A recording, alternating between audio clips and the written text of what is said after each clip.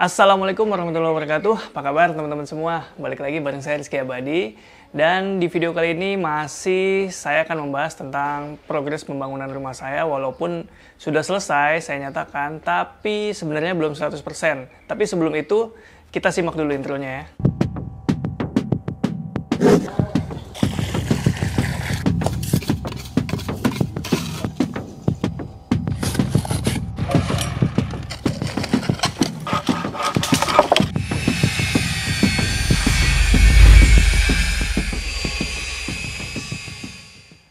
Nah, pada video kali ini saya akan menjawab beberapa pertanyaan dari teman-teman semua. Nah, misalnya saya jawab di kolom komentar itu kayaknya kurang detail ya, kurang dapet. Takutnya masih belum jelas, makanya saya buatkan video tersendiri. Oke, kita langsung aja mulai dari pertanyaan pertama. Dari Fatoni Nur nih, dia nanya kitchen sink pakai apa? Sebenarnya saya pakai kitchen sink yang standar aja ya. Standar tuh artinya tidak yang tipis di bawah dan juga tidak yang uh, terlalu mahal grade atas. Jadi di tengah-tengah. Sebenarnya saya nyarinya yang warna silver atau warna logam lah aluminium gitu tapi karena yang aluminiumnya lagi kosong ya udah nggak apa-apa saya pakai yang hitam tapi ini sebenarnya hitamnya nggak hitam full gitu teman-teman masih ada opacity ke arah silvernya. Jadi kalau kena cahaya tuh masih agak mengkilap, bukan bukan hitam pekat gitu. Kenapa kitchen sink merek ini saya pilih? Karena ya dia dari material cukup kokoh, artinya dia tebal. Udah gitu dia ada lapisan karetnya di bagian luarnya. Jadi kalau kena drop air atau barang-barang kita taruh di atasnya tuh dia nggak bunyi teng teng teng gitu. Jadi bunyinya lebih bek bek bek kayak gini nih.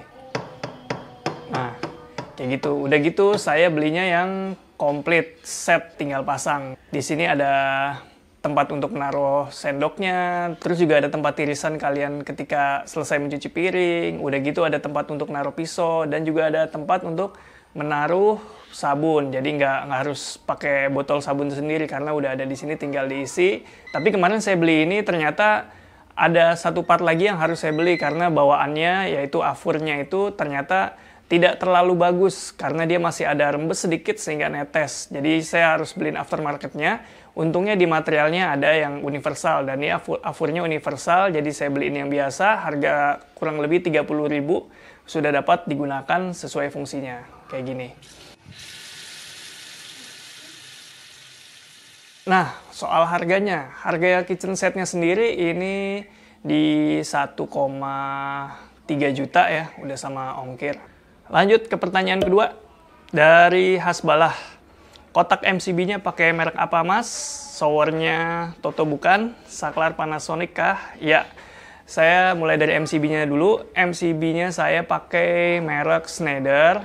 Kenapa merek ini? Ya, sebenarnya ada beberapa pertimbangan. Tapi yang paling saya suka adalah modelnya sebenarnya. Jadi dia kayak nyatu dengan tembok gitu. Udah gitu warnanya juga saya suka selaras dengan uh, tone warna di rumah saya. Selain desainnya, juga saya butuh yang fungsinya dong, karena saya pakai 10 sorry, sebenarnya kebutuhan saya di lantai 2 itu ada 8 MCB, saklar MCB, dan di bawah juga sebenarnya perlunya cuma 6, tapi mungkin suatu saat saya menambah barang elektronik, mungkin saya harus tambah lagi saklar MCB-nya. Jadi udah sekalian aja saya beli yang uh, untuk 10 slot MCB. Jadi ini kotak ini isinya untuk 10 slot.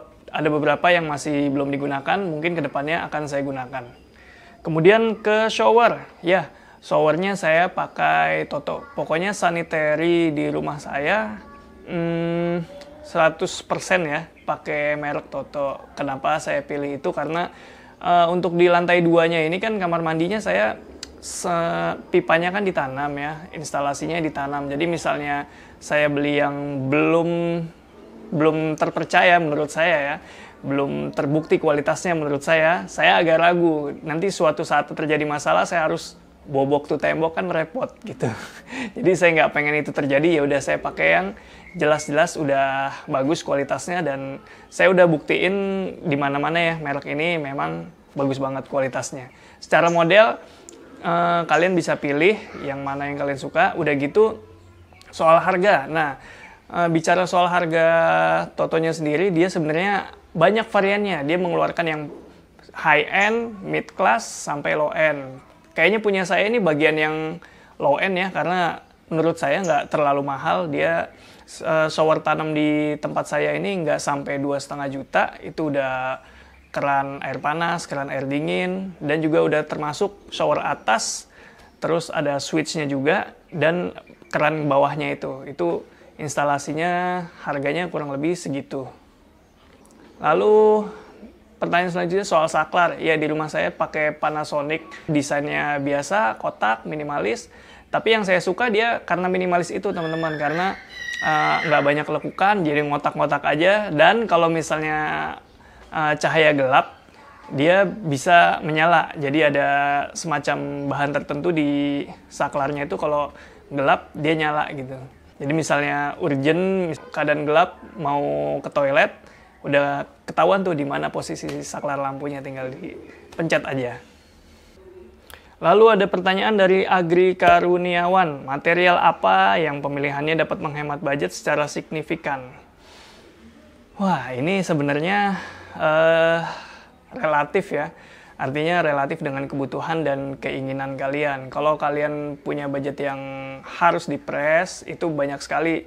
Contohnya misalnya kalian pakai tukang harian nih. Kalau pakai tukang harian, usahakan dindingnya atau temboknya itu pakai yang uh, bata ringan. Kenapa? Karena memang belinya lebih mahal ya bata ringan, tapi dia pengerjaannya lebih cepat. Selisih harga dari bata ringan itu ketimbang bata merah itu bisa dipres dengan meminimalisir ongkos kerja dari tukang karena pengerjaannya cepat, nah ongkos tukangnya otomatis lebih murah. Itu salah satunya.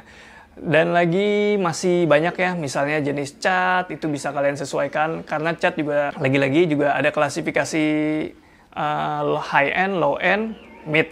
Nah itu juga cat nggak mesti merek A itu kelas premium. Nggak mesti merek B itu kelas low. Nggak juga. Itu masing-masing merek itu mereka mengeluarkan seri yang premium dan seri bawahnya. Tinggal kalian sesuaikan dengan kebutuhan kalian aja. Terus untuk menghemat budget juga kalian bisa pakai lantai yang nggak mesti granit tile tapi kalian juga bisa pakai keramik. Itu juga menghemat budget signifikan. Atau mau lebih hemat lagi yang nggak usah di cover granit tile atau keramik kalian aci aja kalian plur itu bakalan menghemat budget banget. Bisa menghemat belasan juta tuh kayaknya. Pertanyaan kedua dari Agri itu ada tips nggak untuk manajemen tukang? Ada yang pernah bermasalah? Ya alhamdulillah kemarin yang kerja di tempat saya ini nggak ada masalah ya. Artinya nggak ada sampai berkonflik dan semacamnya. Tapi tentu saja tetap kalian harus bisa memanage supaya kerjanya efektif. Yang pertama uh, sesuaikan aja. Misalnya nih, kalian udah tahu kebutuhan belanja untuk minggu ini itu lebih bagus karena kalian bisa siapkan. Jadi nggak ada nggak ada momen ketika tukang berhenti karena harus menunggu barang datang. Itu artinya kalian harus tahu minggu ini yang dikerjakan apa aja dan kalian siapkan barangnya. Jadi misalnya uh, minggu ini sudah selesai, kemudian udah masuk mau minggu depan. Nah kalian seusahain udah mulai dibelanjain tuh supaya minggu depan mereka tinggal kerja. Jadi nggak tunggu-tungguan. Kemudian untuk manajemen tukangnya sendiri uh, ini sebenarnya benar-benar lebih ke pembawaan personal dan cara kita berkomunikasi ya sama mereka. Usahakan libatkan mereka dalam pembangunan rumah. Artinya mereka bukan hanya kerja di tempat kalian. Jadi buat mereka merasa memiliki bahwa uh, ini rumah hasil karya gue, gue bisa bangga ketika ini selesai dan gue bisa tunjukin hasilnya pada uh, calon orang-orang yang akan meng-hire gue berikutnya gitu. Jadi mereka bisa bisa berbangga dengan hasil karyanya dan dengan begitu mereka tentu kerjanya bisa maksimalin potensi diri mereka gitu. Jadi nggak nggak ngasal gitu. Walaupun saya agak ragu ya zaman sekarang emang masih ada gitu orang yang kerjanya ngasal. Saya sih belum pernah nemu, alhamdulillah. Usahain kalian uh, perlakukan mereka sebagai tim. Jadi ketika membangun rumah itu ya jangan posisikan diri kalian sebagai owner terus kalian mau tunjuk sana tunjuk sini maunya ini itu dengan asal perintah nggak kayak gitu. Jadi uh, buka ruang untuk diskusi bagusnya gimana siapa tahu kalian malah dapat insight yang bagus dari mereka. Dengan begitu pembangunan rumah juga akan lebih asik ya karena suasana jadi enak ada diskusi dan mereka juga merasa dilibatkan jadinya pembangunannya jadi semangat kerjanya mereka Next, kita ke Pertanyaan selanjutnya dari Debri Dayak, alasan kamar utama nggak pakai kamar mandi dalam? Ya karena bangunan saya sebenarnya nggak terlalu luas ya, cuma 120 meter di itu total lantai 1 dan lantai 2. Jadi lantai 2 kurang lebih 60, lantai bawah kurang lebih 60. Kamarnya sementara uh, baru ada tiga, tapi yang di depan itu yang besar itu rencananya tinggal dikasih sekat aja udah jadi dua, dua kamar. Jadi ke depannya akan ada empat kamar. Nah alasan utama, utama sebenarnya saya tidak bikin kamar mandi dalam adalah yaitu luasan. Saya nggak ingin uh, kamar tidur saya itu uh, mengorbankan luasannya yang cuma segitu untuk kamar mandi dalam. Dan juga effortnya nggak terlalu besar, tinggal buka pintu dan ketemu kamar mandi daripada kamar mandi di dalam dengan mengorbankan luasan bangunannya sendiri. Menurut saya gitu. Jadi lebih ke effort ya. Saya nggak masalah untuk buka pintu keluar kamar dan masuk pintu kamar mandi ketimbang harus memaksakan kamar mandi di dalam dengan mengorbankan luasan kamar sendiri. Kayak gitu. Terus ada dari Stephanie G, untuk punya shower yang berfungsi baik, maksudnya airnya deras, ketinggian turun air idealnya berapa? Pengalamannya, oke. Okay. Jadi pada intinya dia nanya ketinggian toren air berapa supaya deras. Yang jelas makin tinggi, makin bagus. Makin tinggi itu artinya sesuaikan dengan tinggi rumah kalian ya. Misalnya cuma satu lantai, rumahnya uh, paling bagus di dak-dakan setara dengan di tinggi genteng kalian. Kalau di tempat saya ini dua lantai, dan juga setara dengan tinggi uh, atap ya. Jadi di atas saya ini tempat saya ngomong nih adalah dak toren, ada toren, terus ada pipa-pipa uh, dan juga ada pompa pendorong. Nah, kenapa uh, pompa pendorong perlu? Misalnya kalian ingin memutuskan untuk kamar mandi menggunakan shower, tentu pompa pendorong hampir harus ada ya karena kalau tanpa pompa pendorong itu dapat dipastikan shower kalian tidak akan mengalir dengan deras. Seperti ketika kalian buka tuh hanya akan netes-netes biasa aja. Malah e, bisa jadi cuma akan ngucur gitu doang, sedikit pelan kayak gitu. Tapi misalnya di keran biasanya dia tetap ngalir walaupun nggak sederas dengan pakai e, mesin pendorong air atau mesin air ya kayak gitu. Jadi kalian putuskan dulu mau pakai shower apa enggak. Kalau misalnya pakai shower uh, hal yang wajib untuk menggunakan pendorong air. Dan ini kalau dibilang mahal nggak juga ya karena saya beli tuh pendorong air merek Shimizu uh, itu saya nggak nyampe 400 deh, sekitar 300-an kecil, 320 atau 340 gitu, saya lupa. Pokoknya di angka segitu.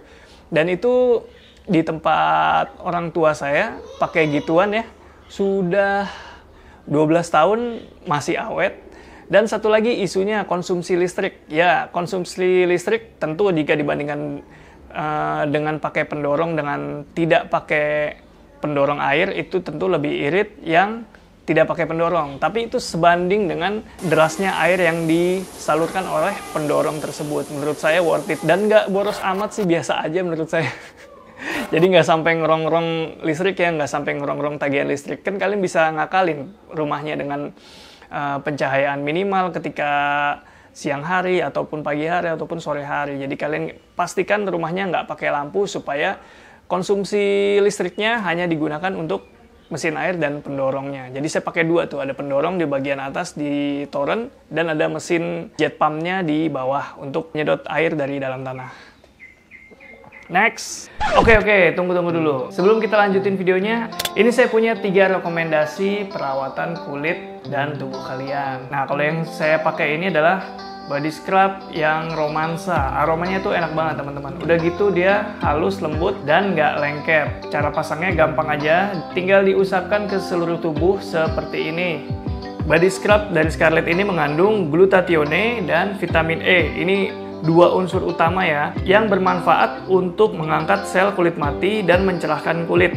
Waduh, yang namanya body scrub memang identik dengan mencerahkan kulit ya. Nah, ditambah lagi dari body scrub dari Scarlett ini juga aromanya enak nih. Biasanya kalau pakai body scrub itu kan kita sebelum mandi ya. Jadi kurang lebih kasih waktu dia 2 sampai 3 menit sebelum mandi. Bilasnya biar enak pakai air gini. Kemudian supaya maksimal ada shower scrubnya. Nah, ini juga dari Scarlett, teman-teman. Di sini saya pakai yang aromanya Floriental Gourmand. Ini aromanya enak banget, nggak terlalu kenceng, tapi juga nggak terlalu tipis gitu. Jadi aromanya pas menurut saya. Kemudian dia juga membantu mengangkat sel-sel kulit mati pada tubuh, membuat kulit jadi halus serta eksfoliasi. Lalu dia membantu mengembalikan kelembaban kulit, membantu mencerahkan kulit tubuh. Tinggal dipakai aja gini, sama kayak pakai scrub tadi, bedanya dia pakainya dalam keadaan basah ketika kalian mandi. Setelah kalian bilas sampai bersih dan sekarang waktunya kita keringkan pakai handuk dan setelah mandi juga ada perawatan selanjutnya nih di sini saya pakai Brightening Body Lotion by Scarlett. Ini dia aromanya masih sama dengan shower scrubnya karena aromanya ternyata enak banget, lembut dan buat saya ini pas. Nah, lanjut body lotion ini digunakan kayak body lotion biasa, tinggal dioleskan secara merata ke kulit kalian. Dan body lotion dari Scarlett ini memiliki berbagai manfaat tentu saja, seperti membantu mengembalikan kelembaban kulit, membantu mencerahkan kulit tubuh, menutrisi kulit tubuh dengan kandungan terbaiknya, menyegarkan dan memberi keharuman tahan lama. Wih, mantap nggak tuh? Oh ya, seluruh rangkaian dari Scarlett Body Care ini cocok untuk semua jenis kulit. Lalu, produk Scarlett yang saya review ini dia sudah terregistrasi di Badan POM Republik Indonesia. Jadi aman ya. Kemudian dia juga tersertifikasi halal dari MUI.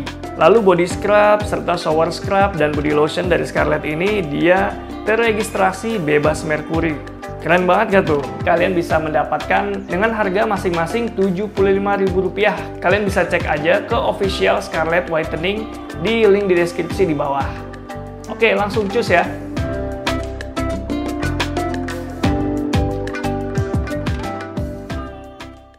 Next, pertanyaan dari Arsyana Zian Hafiza. Izin nanya Pak, untuk skylight pakai material apa. Sebenarnya saya pengen pakai kaca. Kaca itu artinya kaca tempered ya. Tempered itu harganya bisa empat kali material yang saya gunakan sekarang ini. Nah, material yang saya gunakan ini saya pakai solar flat, produk dari Solar Tough. Kalau sebelumnya pasti kalian pernah lihat ya, genteng solar tough, atap solar tough kayak gitu biasanya untuk di carport Nah, mereka ngeluarin namanya solar flat, jadinya datar kayak gitu. Dari jauh sih kesannya kayak kaca, tapi ketika kalian pegang bukan kok, bukan kaca. Dan dia juga punya variasi ketebalan, mulai dari 1,2 mili kalau nggak salah, kemudian ada 3 mili, ah pokoknya lupa, pokoknya ada beberapa variasi ketebalan, kalian pilih aja yang mana yang kalian suka dan sesuai dengan budget kalian. Oke, lanjut. Pintu pesennya di mana? Ya, saya pintunya pesen di tukang besi di dekat-dekat sini. Tapi kalian tanya aja lah di area tempat tinggal kalian kayaknya mungkin tukang-tukang pintu besi khususnya kalau ingin pintu besi kalian bisa tanya modelnya lihat aja tempat saya ini bisa nggak bikin kayak gini gitu. Terus ada lagi pertanyaan dari Andromeda, Mas ngekamprotnya pakai apa? Spray gun atau pakai cat? Info cat teksturnya dong Mas kalau beneran pakai cat. Dinding semen kamprot tuh ada beberapa cara ya untuk membuat dia terlihat bertekstur atau bahkan kasar. Yang pertama pakai ca pakai cara manual yaitu di kamprot manual begitu. Dan yang kedua bisa pakai spray gun. Yang ketiga bisa pakai cat. Tapi kalau cat ini cenderung lebih ke halus ya. Tapi kalau di tempat saya pakainya manual, nggak pakai spray gun karena kami nggak punya spray gun. Jadi ya udah manual aja. Caranya itu pakai saringan lagi teman-teman. Jadi nggak langsung dari sendok semen tuh nggak langsung ngarah ke dinding. Kenapa nggak begitu? Karena misalnya dari sendok semen langsung diarahin ke dinding, walaupun pasirnya sudah kalian haluskan, kemungkinan besar hasilnya tidak akan rata. Ada gumpalan-gumpalan dari cetakan uh, sendok semennya itu yang kemungkinan nempel membentuk cetakannya. Dan untuk ngeratainnya susah kalau udah begitu ya. Jadi waktu itu kita bikin pakai saringan yang setengah senti itu dibikin dibentuk ukuran 40 kali 40 atau 30 kali 30 ya. Langsung dikamprotkan dengan menggunakan saringan itu. Jadi hasil yang menempel ke tembok itu sudah tersaring dahulu jadi nggak nggak nyetak sendok semen gitu. Terus ada yang nanya ini dari Change Automotive Channel. Maaf bang ada groundingnya nggak ya? Saya pakai grounding listriknya pakai 2200 Oke, okay, next pertanyaan dari Irwan Junarsa, itu biaya besi murahan mana dengan aluminium atau dengan baja ringan Om? Ini maksudnya jendela kali ya? Ya, jendela atau pintu. Sebenarnya pada dasarnya sebenarnya murahan besi kalau harga yang dulu, harga yang sebelum naik. Tapi karena besi belakangan terutama ketika saya bikin rumah ini 2021 bulan Juni harga besi lagi naik. Ketika saya bikin tuh naiknya 30% ada tuh. Sekarang juga kabarnya saya tanya teman kemarin 2022 harga besi belum juga turun dan dia masih naik pelan-pelan. Jadi kemungkinan untuk pembuatan jendela ataupun pintu sekarang malah mahalan yang besi ketimbang yang aluminium. Jadi silakan pilih sesuai kebutuhan dan budget kalian ya. Dari Edis Dahlan, Mas Rizky boleh nih, boleh share RAB dan denah. Hmm, Oke, okay. Uh, eh, RAB sebenarnya ya, honestly saya nggak bikin rumah ini dengan RAB yang rapih. Serius, saya modal nekat aja. beneran, beneran, beneran. Saya nggak nggak punya budget, saya harus nyiapin berapa. Karena ketika mulai itu saya uh, punya budget cuma 200 juta Ya, beneran. Saya modal nekat. Sampai akhirnya saya dalam pembangunan segala macam proses berjalan, akhirnya bisa sampai 380 juta lebih.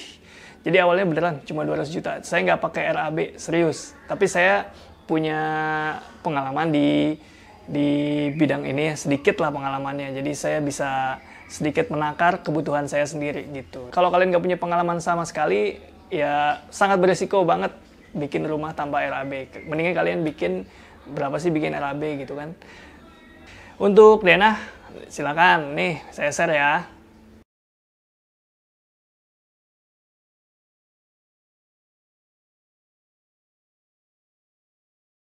Kemudian ada pertanyaan dari Citra Official. Untuk rumah industrial pakai material semennya merek apa supaya nggak terlihat gelap banget? Oke, maksudnya dia mungkin aciannya ya. Kalau kalau semennya yang untuk adukan dan bang dindingnya itu semen biasa.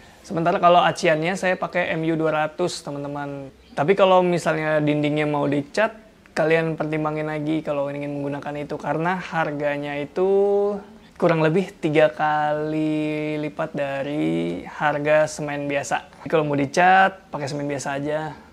Kecuali emang beneran mau diekspos tanpa dicat kayak gini, ya silakan aja kalau mau pakai nyobain pakai itu dari Traventura, Mas untuk pembangunan dari nol sampai selesai pakai satu kepala tukang yang sama atau gimana? Ya dari awal nih saya pakai kepala tukang yang sama, namanya Mas Bo. Kalau kalian pernah nonton beberapa videonya atau bahkan kalian nonton dari awal, kalian pasti udah tahu orangnya yang mana. Merek granit dan tipenya untuk ruang tamu dan kamar di share Pak buat referensi dari Hana Arum. Ya merek granitnya ini sebenarnya sama semua saya pakai ya dari mulai kamar, ruang ruang keluarga, balkon ini sampai ruang-ruang teras itu sama satu merek dan satu warna yang saya pakai. Mungkin kelihatan beda karena yang satu mungkin di teras tuh di luar jadi kelihatannya lebih terang sedangkan di dalam kelihatannya lebih gelap padahal sama.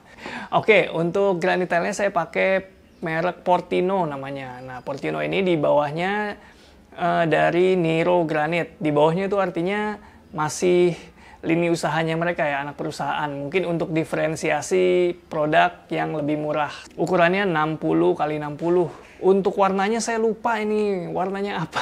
Soalnya kan pakai kode ya. Saya nggak nggak inget tuh warnanya. Pokoknya itu ya. E, harganya yang jelas masih di bawahnya Nero Granit karena ketebalannya juga beda. Nero Granit tuh kalau nggak salah ketebalannya 90 sedangkan punya saya ini 85 ya ada harga ada rupa ya. Saya waktu itu beli per meter nih berapa ya nggak sampai 130 ini sekitar 124 pas 126 ribu gitu per meter. Kayaknya segitu dulu video Q&A kali ini. Misalnya kalian masih ada pertanyaan ya tulis aja deh. Nanti misalnya saya bisa jawab pasti akan saya jawab. Kemudian untuk progres pengisian rumah nih karena sebenarnya rumah ini udah jadi tapi belum 100% karena ada beberapa bagian yang seperti di taman belakang tuh belum di plaster karena itu masih menunggu budgetnya ada. Dan uh, untuk mengisi rumahnya sendiri artinya mengisi kamar, mendekor ruang keluarga segala macam itu sambil jalan teman-teman. Karena saya punya kebutuhan lain nanti misalnya ada uh, perubahan di di bagian-bagian dari rumah ini akan saya buatkan videonya. Sementara saya review rumah yang lain aja dulu ya, jadi nggak harus rumah saya terus. Oke, kalau kalian suka dengan video ini, silahkan kalian share ke teman-teman kalian dan juga tulis di kolom komentar apa yang menjadi pertanyaan kalian. Rizky Abadi, pamit undur diri. Semoga menginspirasi. Ciao!